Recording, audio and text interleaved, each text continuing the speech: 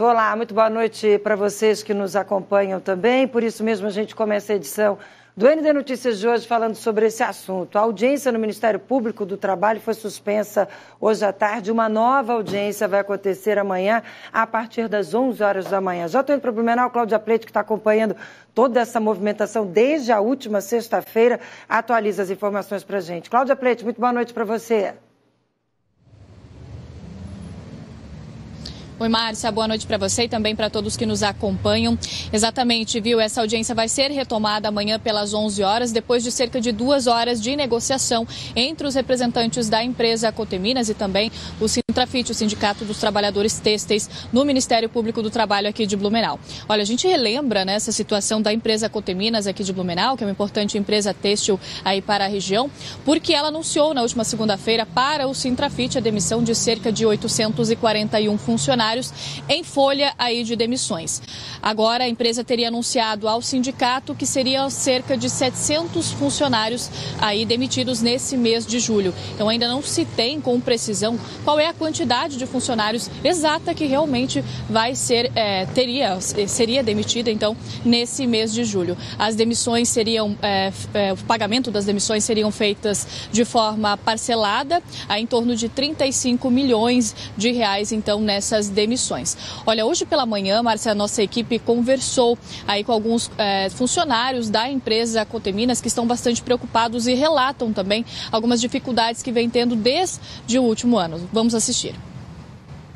Roberto trabalha há 29 anos na Coteminas em Blumenau. Entre ele e os colegas de empresa, o sentimento é de preocupação. Quem está aposentado vai se levando, mas as pessoas que estão lá dentro, que pagam o aluguel, que dependem daquilo ali, onde eles vão trabalhar?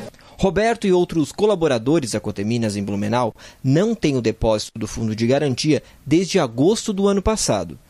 Não se sabe ao certo quantos funcionários a empresa prevê dispensar. Ao sindicato, a direção da Coteminas anunciou na semana passada a demissão de cerca de 700 trabalhadores. Mas, no documento entregue no mesmo dia mostrando o plano para o parcelamento em até 15 vezes as verbas rescisórias, constam 841 trabalhadores. As informações que a gente tem são de reuniões passadas, né?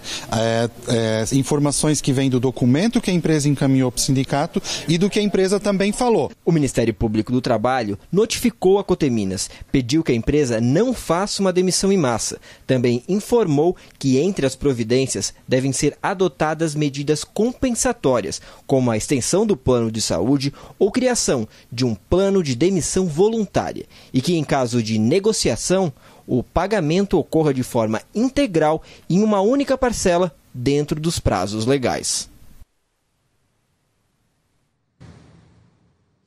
É, olha, Márcia, amanhã a gente continua acompanhando, a partir das 11 horas, então, essa nova negociação aqui em Blumenau e traz todas as informações e os detalhes novamente aqui no ND Notícias. Agora, é claro que o sindicato busca, junto à empresa e também através do Ministério Público do Trabalho, aí um plano de demissão voluntária ou outras medidas aí para que esses colaboradores não saiam prejudicados. Eu volto contigo. Até porque o número pode ser ainda maior. A expectativa para isso existe, o que deixa a situação ainda mais preocupante.